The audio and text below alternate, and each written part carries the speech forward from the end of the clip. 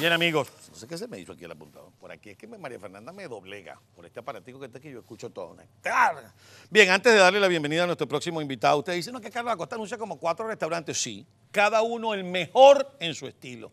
Por ejemplo, el mejor restaurante de carnes que usted pueda conocer es Barbecue 58. Cuando le digo el mejor es porque es distinto a los demás, es diferente, es una experiencia única. Y no le estoy diciendo una frase comercial. Porque además yo no leo pronto, yo les digo, yo tengo aquí el nombre, la dirección y los teléfonos. Lo demás les digo lo que yo siento porque he comido ahí. Es una experiencia distinta en comer carne. Mire, hay ahumadores especialmente diseñados para que los diversos cortes de carne reciban ese, ese, ese, gusto que le da una leña especial que escogemos. Y no hablemos de las sales artesanales que nosotros mismos creamos en nuestra cocina. Nuestro chef se especializó en eso y después que usted tiene una carne que ha sido preparada de una manera distinta, les reitero, es una experiencia única. Usted le puede colocar la sal con el aroma y el sabor que usted quiera y en la cantidad que usted quiera. Yo solamente le digo que venga a vivir esa experiencia gastronómica única en carne asada con leña y con sales artesanales. Y bueno, en un local muy bonito que tiene una gran terraza para cumplir con las disposiciones de distanciamiento físico que se imperan en estos días. Yo les invito a que vengan a Barbecue 58. Estamos en el 9136 de la calle 25, aquí en la ciudad de Oral, frente al headquarter de la policía de Miami-Dade. Ahí está Barbecue 58. Venga a disfrutar de lo mejor y de esta experiencia distinta en el sabor de la carne. Usted no ha probado nunca una carne como la que va a probar con nosotros. Por eso decimos, Barbecue 58, el verdadero código del buen sabor y del buen comer. Barbecue 58, Our Grill, Our Rule. Una maravilla. Ah, como que voy para allá al mediodía. Bien, amigos. Bienvenido el doctor José Manuel Olivares, diputado de la Asamblea Nacional, gran trabajador, gran venezolano, ahí lo tienen ustedes en pantalla de BTV. Y a mí siempre me da mucho gusto conversar con José Manuel, porque José Manuel, además de diputado, además de médico, es un venezolano que cuando plantea lo que está ocurriendo en Venezuela, lo plantea de manera llana, sin tratar de beneficiar al partido 1, al partido 2 o al partido 3, única y exclusivamente buscando una solución al gravísimo problema de salud que viven los venezolanos. José Manuel, bienvenido al programa, gracias por estar con nosotros. Don Carlos Acosta, ¿cómo está usted? Muchas gracias y gracias por esas merecidas palabras, pero no queda más que, seguir luchando por nuestros principios, por nuestros valores y, bueno, y sin duda por la salud y la vida de los venezolanos.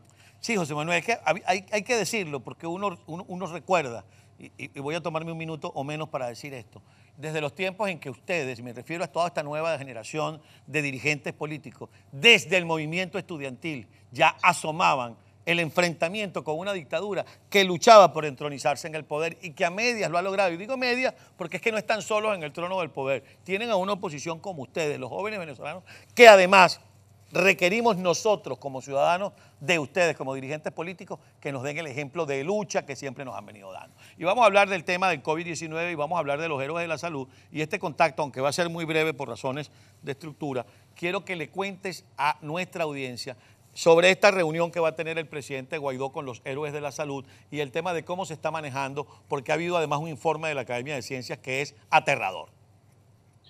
Bueno, Carlos, voy a tratar de, resumir tanta información. Lo primero, eh, muy doloroso, tú sabes que todos los días conversamos con colegas, y cuando digo colegas hablo de enfermeras, médicos, camilleros, camareros, nutricionistas en todos los hospitales de Venezuela.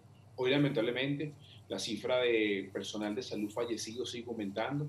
Para la fecha ya asciende a 144 miembros del sector salud que han perdido su vida combatiendo el COVID y salvando vidas en hospitales de Venezuela. Esto sigue siendo la tasa de mortalidad más alta de toda América Latina y casi que del mundo en personal de salud que muere en medio de la pandemia por todas las razones ya expuestas, el desprecio de Nicolás Maduro a la medicina venezolana y la falta de material de protección. Una de las medidas que se tomó para dar un soporte o alivio insuficiente, sin duda alguna, eh, diría que ser millones lo que merecen todos los trabajadores venezolanos, no solamente el sector salud, por, por, por, la lucha que han dado, por la dignidad, por la fuerza laboral, por la formación que tienen, pero este bono de héroes por la salud ya se hizo realidad luego de asumir los meses de retardo en términos burocráticos, en lograr transparencia, ya se han iniciado el pago de este bono de 100 dólares que va a ser por tres meses para eh, todo el personal de salud en distintos estados del país. Se decidió priorizar en los estados que han tenido mayor impacto de COVID. Se comenzó por el estado Zulia, luego Anzuategui, Caracas, Miranda. Habrá una priorización según lo que ha sido el impacto del COVID-19 en la data que tenemos en cada uno de los estados del país. Debo decirte también, Carlos, que continúa el colapso hospitalario hoy en la Gran Caracas, y me refiero a la Gran Caracas porque es la ciudad con mayor oferta hospitalaria pública y privada de Venezuela. No hay una cama de terapia intensiva disponible para un venezolano. No todos venezolanos tienen la misma suerte que tiene la dictadura de tener el hospitalito de Fuerte Tiuna, de tener todas las medicinas a su disposición.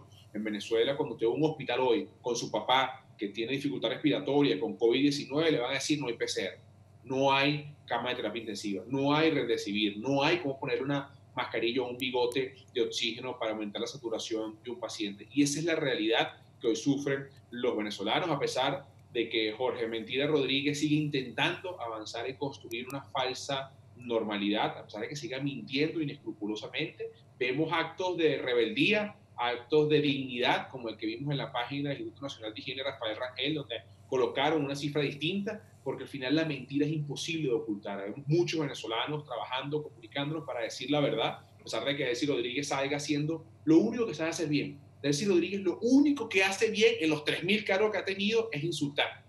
Como lo hacía hace algunos días con algunos tweets donde nos insultaba, donde nos decíamos que era un fake, al final ese acto de rebeldía ocurrió, ese acto de colocar números distintos a lo que dice la dictadura en la página del, Instituto Nacional de Higiene Rafael Rangel y espero que siga ocurriendo y seguimos trabajando e incentivando para que siga ocurriendo en la Fuerza Armada y en todos los entes públicos porque está el verdadero corazón y la verdadera razón de ser venezolano. Termino con dos puntos más. Carlos, la proyección de la academia que hasta ahora ha sido muy acertada proyecta que en diciembre podemos tener de 10.000 a 14.000 casos de COVID-19 en Venezuela, lo que sería realmente la tragedia dentro de la tragedia en América Latina del COVID-19. Y por último, ya con el tema electoral, eh, pronto vamos a presentar unos números de lo que ha sido el impacto del COVID-19 en países que han hecho elecciones. Te doy una, una, pequeña información que ya tenemos luego de tanto estudio y revisión de números. En República Dominicana, en la campaña electoral hubo un incremento de 250% de los casos de COVID. Y luego del proceso electoral hubo un incremento de 400% en los casos de COVID.